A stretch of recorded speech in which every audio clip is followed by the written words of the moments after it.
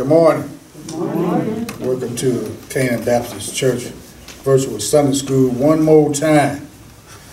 It's a blessing that the Lord has allowed us this opportunity. You know, we can be shut in from each other, but you know, you, we, we, we, we can always find an opportunity to give each other the word.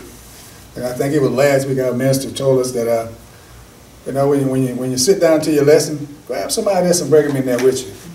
Grab somebody else in your household and bring them in there with you. Get on the phone and say, you know, that old Mr. Heron might be teaching today, or whoever might be teaching today. Just tell somebody to join in on the word. So we can't be physically with each other, but spiritually, let's stay in the word. Let's stay in the word. So we need that in, in these trying times. First, giving honor to God, who's the head of my life, to Bishop Harris, the pastor of this great church, to these ministers and brothers and sisters, and these teachers of God's precious word. And Brother Golden, I said brother, but we got to give him a special thing. He want to make it look and sound so good. Takes a lot to put these on. Take a lot of time.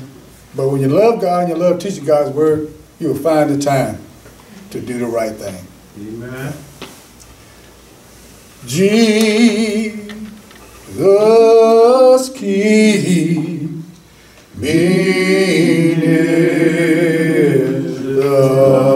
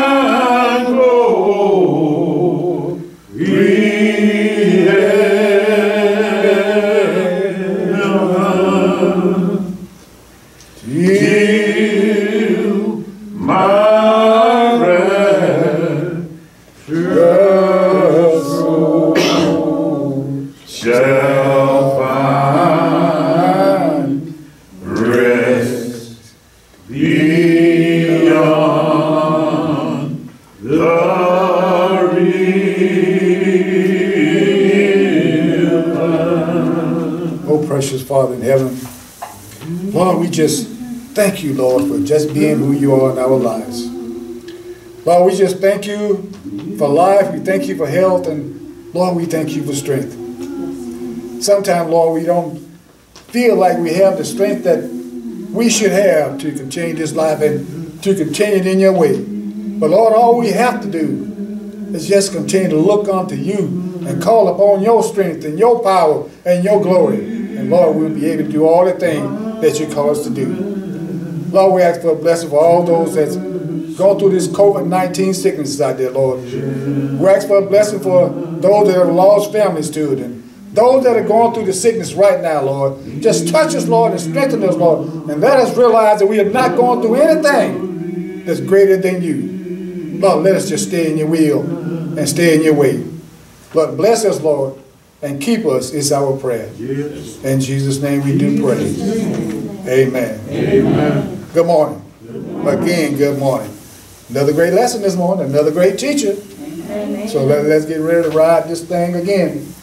Dr. Jackie, come to us and teach us God's word. Give her a hand, give Lord some praise. Amen. Thank you, Lord. Amen.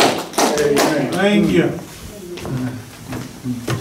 Good morning. Good morning. Thank you so very much. Hmm. First, giving honor to God, Amen. who is the core of my being, Well, who is my beginning and shall be my ending. Hmm. Father, I love you and I praise your holy name. yes, Lord.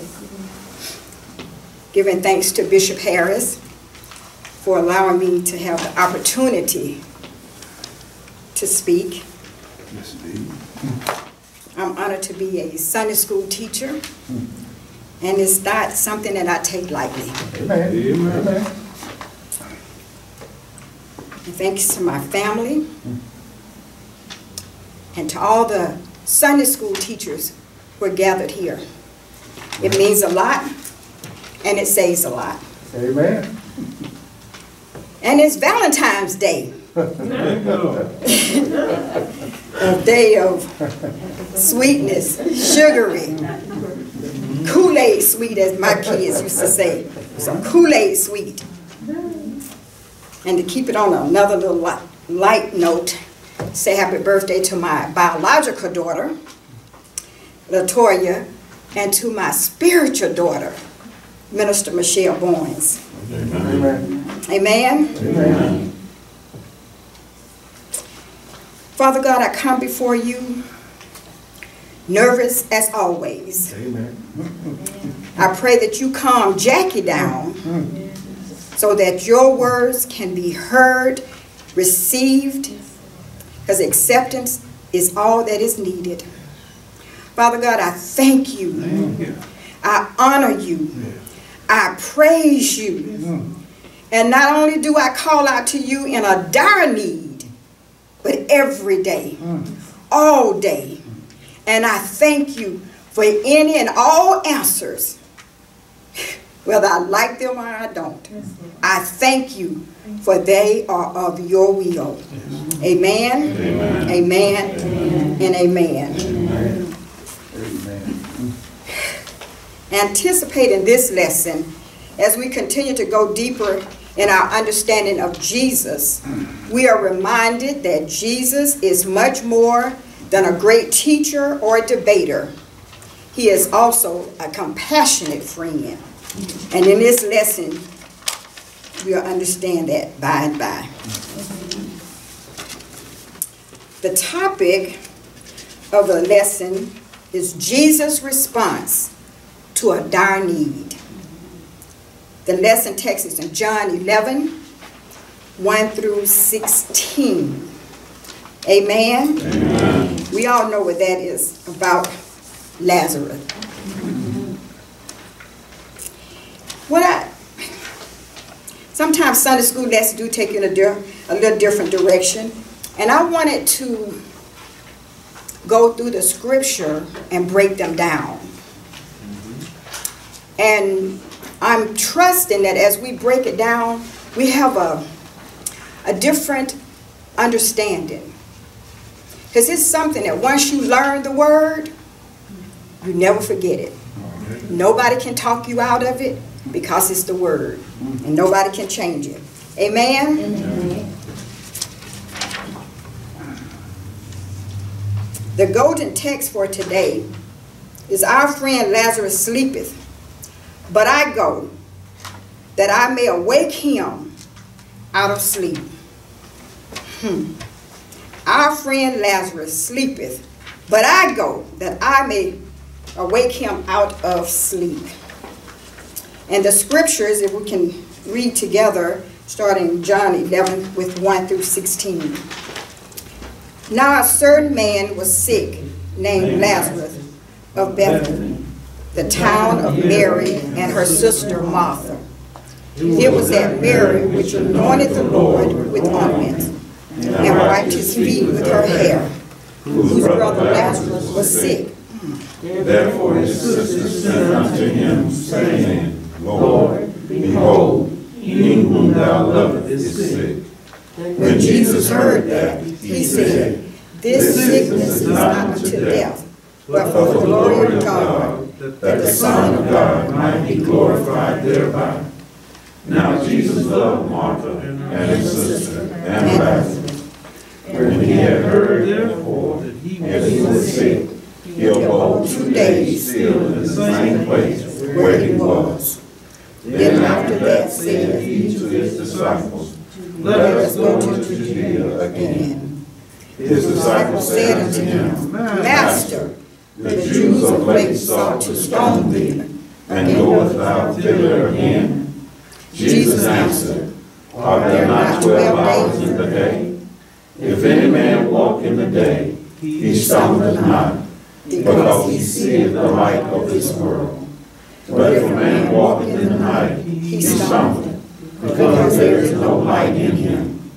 These things said he, and after that he said unto them, Our friend Lazarus sleepeth, but I go that I may awake him out of sleep. Then said his disciples, Lord, if he sleep, he shall do well. Howbeit Jesus spake of his death, but they thought that he had spoken of taking of rest and sleep. Then said Jesus unto them plainly, Lazarus is dead, and I am glad for your sake that I was not there, to the intent ye may believe. Nevertheless, let us go unto him. Then said Thomas, which is called Didymus, unto his fellow disciples, Let us also go, that we may die with him. Amen. Preparing to teach the lesson. Today, to observe Jesus' compassion and ready willingness to serve others. Our principle to understand Jesus' response to the dire need of his friends. The application to emulate Jesus' deeds of love and compassion for the glory of God. The introduction to the lesson. The longer we live, the more we realize that life is filled with many unexpected twists and turns.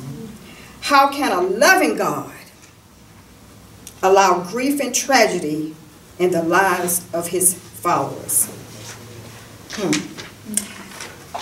So when we go back over to John 11, 1, now a certain man was sick named Lazarus of Bethany, the town of Mary and her sister Martha. Now I want to go on and do verses 1, 2, and 3.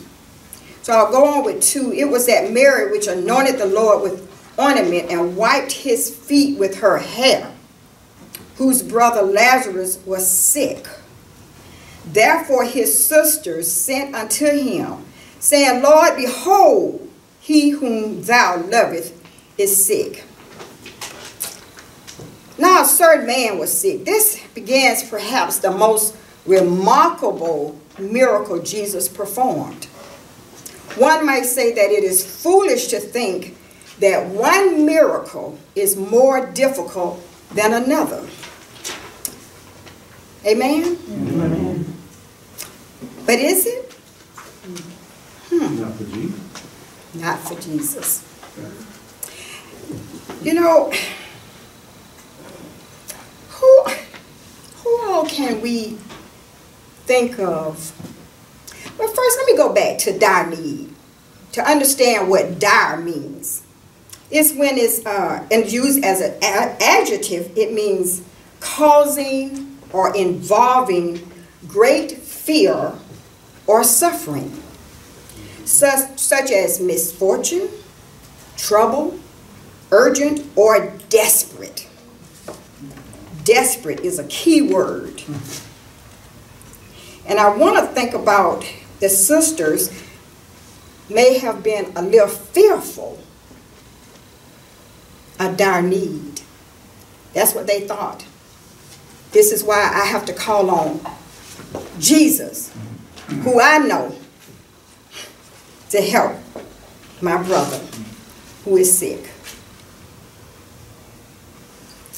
Lazarus of Bethany. Lazarus means God is my help.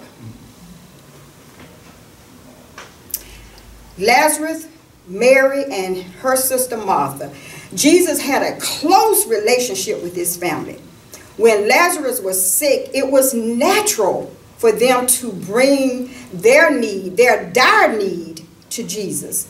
It was expected that if he miraculously met the needs of so many others, he would meet their needs also. Surely you've had somebody that has been doing a lot of things for a lot of other people. So when you came to your turn, you expected the same thing from them. Does it always happen? No. But there is someone you can call on. And his name is Jesus. What a friend we have in Jesus. Amen? Amen. Then it goes on, Lord, behold, he whom you love is sick. So, who do you call on when you're sick? Who do you call on when your child is sick? Who do you call on when the doctor, the man doctor, tells you there is no hope? Who do you call on? I'm in a dire need. Who do I call on? My Lord. Jesus. Jesus. Jesus. Hmm. Lord, behold, who he whom you love is sick. Mary and Martha did not specifically ask Jesus to come and heal Lazarus. They felt that they did not need to, that it was enough to simply tell Jesus what the problem was. He already know. He already know what's going on. But it's nothing like calling out to him. Please, Jesus. Thank you, Lord. Lord, behold, he whom you love is sick. Please come, Father God. Now, you know, the love of Jesus does not separate us from the common necessities and informations of human life. Men of God are still men. We still get sick. Mm-hmm. That's not going to change. In verses 4 through 6, Jesus responds with a delay. When Jesus heard that, he said, This sickness is not unto death, but for the glory of God, that the Son of God may be glorified through it. Now, Jesus loved Martha and her sister and Lazarus. So when he heard that he was sick, he stayed two more days in the place where he was. There's something. I'm calling on you. I'm waiting on you. You got the word.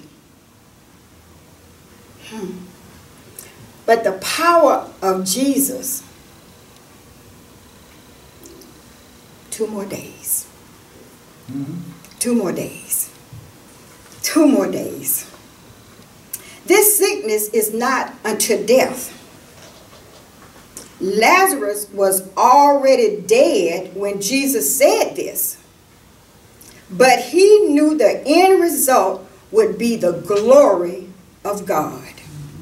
How many of us actually, well, now in this part of our lives we do, but there may have been a time when things happened, Lord, why?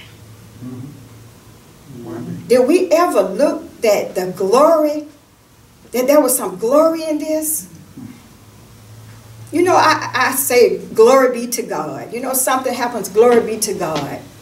One of my co-workers said that one day. She said, well, I'm just saying glory be to God. And I just looked at her because she didn't understand that what she was saying. Mm-hmm. She did not understand that she had some power. Mm-hmm. But she just didn't know what to do with it. She didn't really understand. Hmm. This sickness is not unto death. Jesus knew that the events recorded in this chapter would set the religious leaders in determination to kill Jesus. This meant the end result would be that the Son of God may be glorified in his death and his coming again.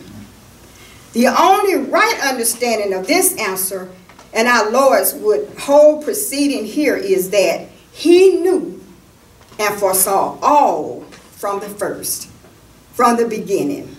He knew that we would have sickness, and sickness would lead into death. But ultimately, the glory of God would be rewarded.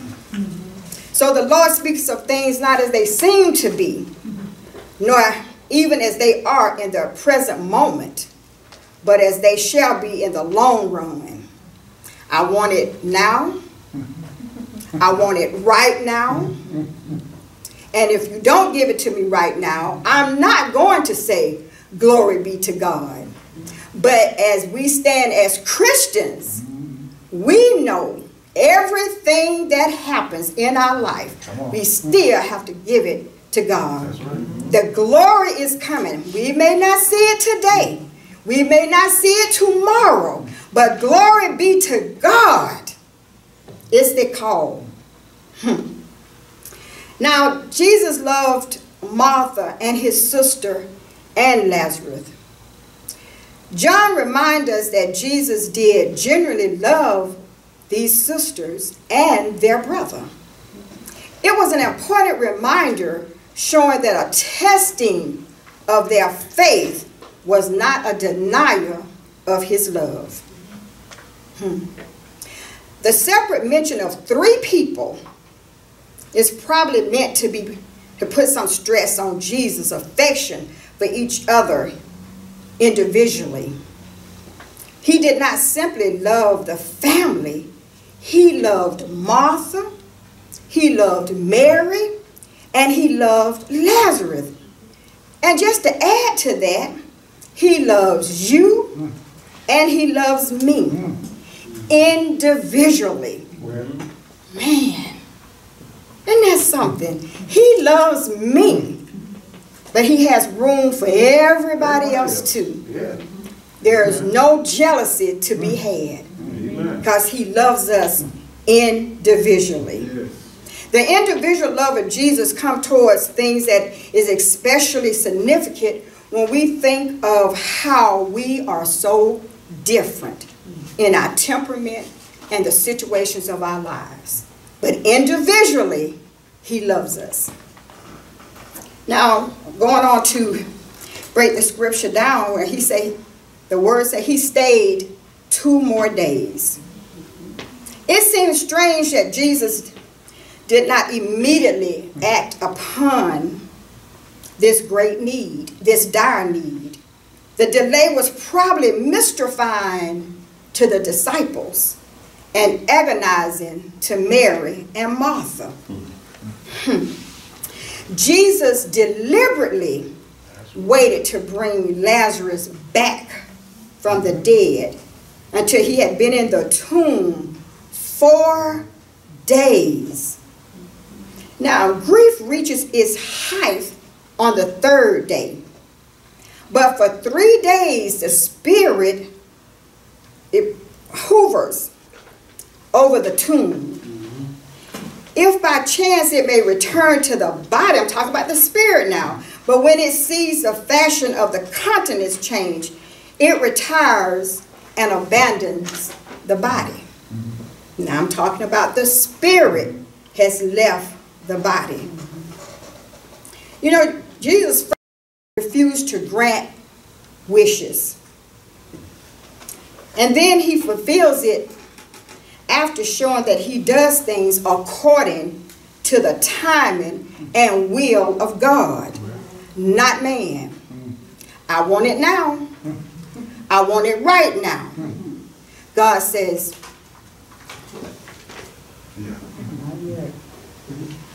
and we take it for whatever we want to take it. But instead of just saying, Glory be to God, your will shall be done. Mm, mm, mm. Now, through his actions, Jesus demonstrated that his delays was not deniers. They would bring greater glory to God. What do you think that means? He wasn't saying no. He was just saying, calm down. Not yet. More or less wanted them to see the bigger picture. The bigger picture. Because it was coming. It was coming. Through his actions, Jesus demonstrated that his delays, again, was not deniers, but they would bring greater glory to God. The bigger picture. I mm-hmm. like that. The mm-hmm. bigger picture. Mm-hmm. Now, in verses 7 through 10, Jesus courageously decides to go to Judah and Jer- Jerusalem. Then, after this, he said to the disciples, Let's go to Judea again. The disciples said to him, Rabbi, lately the Jews sought to stone you, and you going there again? Mm-hmm. Jesus answered, Are there not 12 days, 12 hours in the day? If anyone walks in the day, he does not stumble mm-hmm. because he sees the light of this world. Mm-hmm. But if one walks in the night, he stumbles because the light is not in him. How many of you been walking in the dark and ran into something? But how many of you, the house is dark, but you know where everything is? I can walk from one end to the other without stumbling. That says something. So when you're walking with the Lord, that's how we are. He knows you. And God knows everything that we need, and He knows when He's going to give it to us. Right now, Lord, maybe not. Will I wait, Lord? I will. How long, Lord? As long as it takes. I trust you, Lord. Amazing. Yes, yes, yes, yes. Are there are not 12 hours in the day? Jesus' disciples were shocked that he would return to this region when he was when he was a wanted man there. You know, he had, they had a bounty out for him. They was going to stone him. Jesus' response was saying that he still had work to do. Would I be willing to go back to a place where I knew that someone was going to hurt me? I'm just being honest. No, no, no. I may uh, look around the curve and see what's going on. And I may send somebody, but I'm not going. But that's not how Jesus is. He waited his time. I know the sisters want me to come and do something for Lazarus. I know they want me to heal their brother, but not yet. Not yet. He still had work to do. The 12 hours were a figurative way to speak of the time allotted by God the Father for the earthly work of Jesus. So, meaning there is no time when it comes to Jesus. It's his time, the will of God. Hmm. There are many practical applications of this wise statement. Nothing can shorten our time. There is enough time for everything that needs to be done. We only have that time, so it must not be wasted. Jesus is saying that a man must finish the day's work within the day, for the night cometh when work is end. But there are but 12 hours in the day, and it will be sunset before you dream of it. Get done what God has sent you here to do. If you are aware of your calling, work in your calling. Don't work in somebody else's calling because that's not going to work. Work in your calling. You. May not see the rewards that you want right now, but in God's time, in God's time, you will. If anyone walks in the day, he does not stumble. During these hours, no harm could come to Jesus and his disciples. They had to work before the night of Jesus' passion. Ooh, amen. Do you have a certain time of the day that you do something? You know, I try to do my, my I, I always try to give myself an hour to just have no interruptions, that I just want to study. Mm-hmm. Does that always happen like that? Mm-hmm. No, but I try to set that time up for me and God because He has an individual love for me. And my one hour love showing back to Him is my individual love. Lord, I love you. Not just for this one hour, but this is my designated time. Sometimes my hour go longer. I have been just studying and just break down crying because of the will of God that has been going on in my life. Mm. Look where he has brought me from. I don't know what tomorrow is going to bring. I cannot worry about tomorrow. Mm-hmm. I plan for tomorrow, but I don't worry about it anymore. I do not worry. I just plan.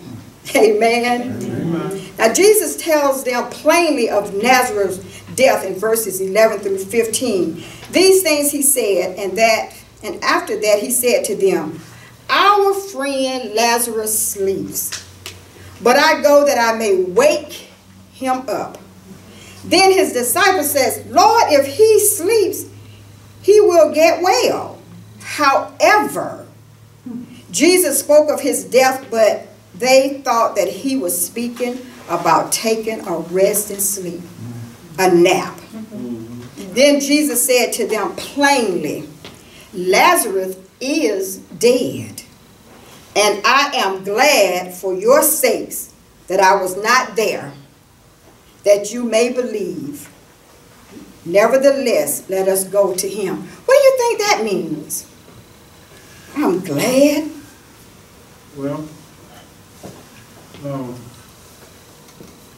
looking back at last week's lesson, uh, where you had all of these unbelieving folks that were around, these Sadducees and Pharisees, they wanted to see, or when Jesus told them who he was, spoke of his deity, they did not believe him. They wanted to stone him and kill him. So now he, fast forward to this week's lesson, he's given time for for them to probably consider the things that he said to them the last time he was there, before they wanted to stone him. him. And so now when they're considering it, he knows that if he allows a Lazarus to, to die in a number of days to pass by, their physical belief is going to tell them, oh, well, he's dead, and therefore he can't nobody do nothing for this man. But now that he allowed that time to pass by, and now he arrives, and now he does the thing that only God can do. Mm-hmm. They have no choice but to believe it as it is. Yes. So Lazarus is dead, and I am glad. Mm-hmm. Jesus could be glad, even in the death of a dear friend, because he was certain of the outcome. Mm-hmm. We see at the end of the events of this chapter that grief was comforted, life was restored, many more believed, mm-hmm. and the necessary death of Jesus was set in motion. Did y'all get that? And the necessary death of Jesus was set in motion at this point. And all of these were reasons to be glad. We glad. Uh, we, we wish that Jesus didn't have to die. But we're glad that he did because we are here. Yes. He saved a wretch like me. But it also reinforces the fact that when he tells us in his word that we shall never die, Uh-huh. it kind of like tells us, okay, well, through this demonstration of, of what he did with Lazarus' life on this side, and was able to just go and call him and bring him back from death. So mankind thought. That now that he's gone, he's telling us that I go and I prepare faith for you the other side where you, there you may be also. That should, that should instill and tell us right now, we should be jumping up down rejoicing saying, if my father who was here told me that there's a place on the other side he's gonna, he's gonna prepare for me, he's gonna get it ready, I, I shouldn't believe nothing but what he told me. Because he's already showed it to me on this side, and it- through this man's life. That everything that he said in his word right now is nothing but the truth. Nothing but the truth. So we may learn that he often permits us to pass until darkness, mm-hmm. more darkness, and deeper mysteries of pain in order that we may prove more perfectly his power. Now, the other three was nevertheless, let us go to him. Now, as Jesus was preparing, and they said the day and the day after Lazarus died, he came to Bethany three days after, and it appeared that Lazarus had been buried about four days, and that he had been put in the grave the day or day after he died. Hmm. And all these were reasons to be glad. In verse 16, I wanted to talk about Thomas' bold faith. Then Thomas, who is called the twin, said to his fellow disciples, Let us also go that we may die with him. Hmm. Thomas, who is called the twin, church traditions say that Thomas was called the twin because he looked like Jesus, putting him at a special risk. If any among the disciples of Jesus were potential targets of persecution, it would be the one who looked like Jesus. Hmm. Yes. Yes. I guess when I was reading, I was like, really? Okay. Doubting Thomas. And then it breaks down to let us also go that we may die with him. Thomas was willing to go with Jesus even if it meant dying with him. He made commit this commitment without much understanding of a promise of being alive again, the resurrection. Who would go with someone thinking They gonna die. they're gonna die and I'll probably die with them? Mm-hmm. Not to Those that believe. I believe that, that Jesus was comparing the disciples mm-hmm. So that when the time comes that he is Yes. put to death, Yes, sir. they can carry on, and this alone will help them to understand that what he's saying about himself, about God, is true. There's no doubt. They won't have any more doubt in their mind because some of them still had a little doubt there. Mm-hmm. But he wanted to show them and, and give God the glory and also glorify him as well at the same time by raising Lazarus from the dead. And that's why he tarried over here so long and then decided to come over here and see what was going on with, with Mary and Martha. And then brought Lazarus forth so that they all can see that, hey, here's a man that lay dead for four days. Four days. No one has that authority or right to bring him back to life like that, unless he is who he say he is. He said he is the I No, no, no spirit, no ghost. I'm No. going back from the dead. Yeah, that's that four day had to do it. the glorifying of Jesus, the power of Jesus.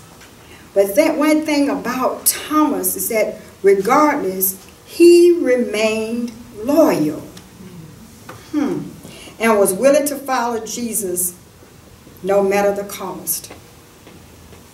Hmm. I ask myself this question, and I ask you to check your heart. Am I are you willing, loyal, and willing to follow Jesus no matter the cost? I think in many ways we all are. Because if you take, take for, take, use the analogy of, let's say, the armed forces right now. Uh, a soldier joins in the armed forces and he gives uh, wholeheartedly, totally, to say that he's gonna go and fight and defend his country, even if it meant for him to go to war and lose his life. Sometimes that happens, uh, God forbid, in many cases, that's not the case, but he's willing to do that. And I think that's all predicated on the cause.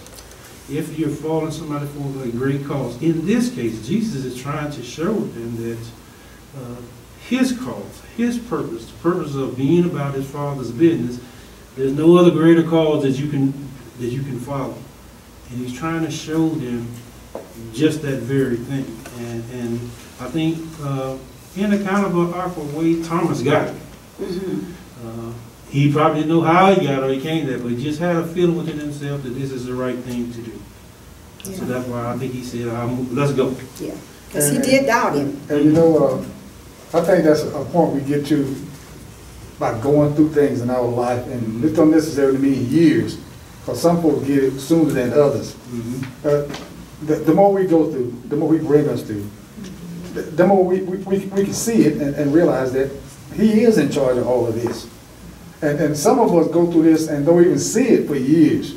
So that's the reason I said it don't matter the years, but, the- but the circumstances that we go through in the time that he bring us out of this.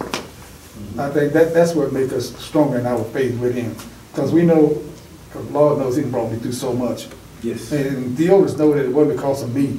Amen. And the more he does that, you know, the more you realize that, that this is his. That- That's when I always say, no matter the situation, there's gotta be some good in it somewhere. So dig that out, because he put that there as well, that's the Yes. And yes, that helped you through the bad. yes, Yeah. yes, ma'am.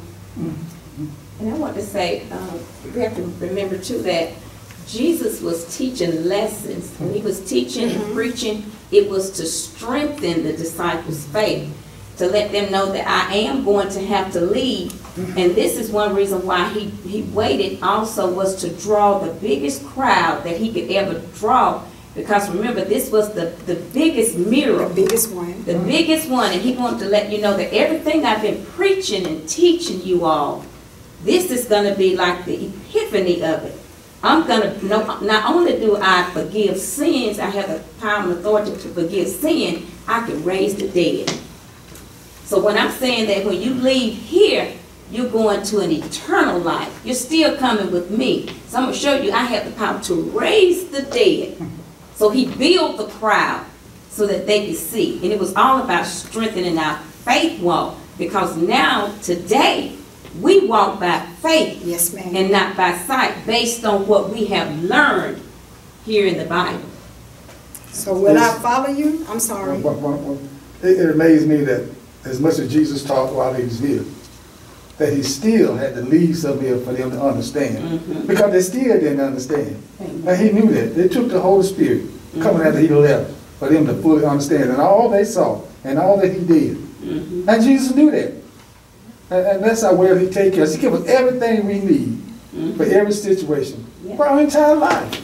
And he knew it was going to take the Holy still Spirit to some- finish that. And yet there's still some here on this earth that do not get it. Do, don't get it. Don't get it. But it's put here.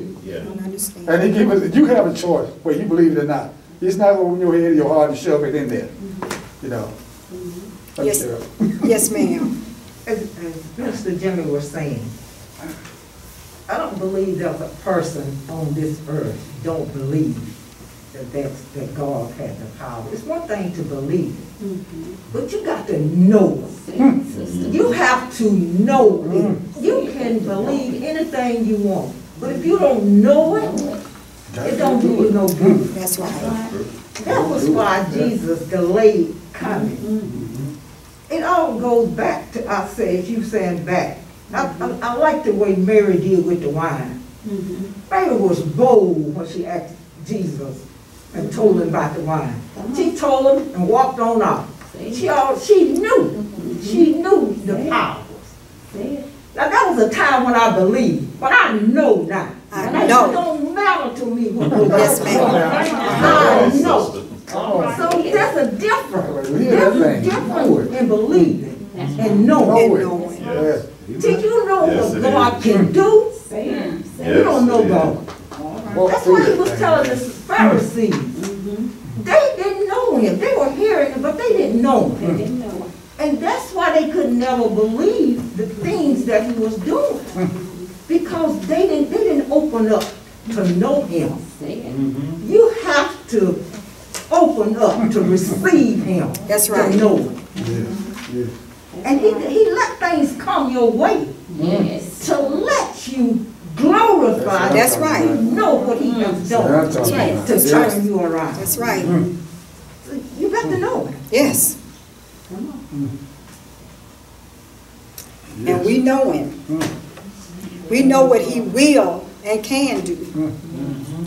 It may not happen this minute, and it may not happen five minutes later, mm-hmm. but we do know that the will of God shall prevail and the glory shall be to him. Mm-hmm. We say, I give you praise and honor. I glorify your holy mm. name. Mm. Only those believers who know will say that, understand it. Mm. Yes, ma'am. Wherever you go, Father, I shall follow. Wherever you lead, I shall be there. If you turn around too fast, Lord, you're going to knock me down because I'm going to be right there. I love you and I praise you. I trust you. I trust the word of God. I trust it right now. Mm-hmm. I'm going to trust it tonight.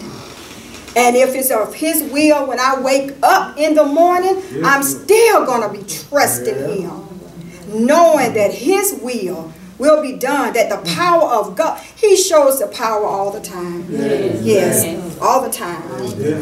Uh, when you think there is nothing else to be done, when you call on God in my dire need, the answer follows. There was a story I told once about I was going through a lot. I just didn't know what Jackie could do. But I got in the, not in my closet, but I had a long, when I was living in the apartments, the hallway, the walkway in my apartment. I laid down on that floor and I cried. But I just cried and I put it all out there. These are my dire need, not no needs that I just want to do something, Lord, but this is what's going on with me. Father God, these are my dire needs. I'm giving them to you. I guarantee you, I went to sleep in the midst of all that crime, but when I woke up, God had revealed through the Holy Spirit to me what that plan was for me to do. And that plan brought me out. The power of God, yeah, I know about the power of God. And let me conclude with, with a prayer. Father God, we thank you. We ask that you create in us a clean and clear pathway of complete loyalty to you. Lead us, Father God. We ask that our friend, our brother Jesus the Christ, know that you will stumble sometimes and I may stumble sometimes, but not you, Father God. You would never stumble, but you would never give up, and you would continue to shine your will, your love upon us for others to see you in us. That is our prayer, Lord. We want someone, if it's only one, Lord, to see you in us. Father, to you. We love you and we praise you. Amen, amen, amen. amen. amen. Thank you.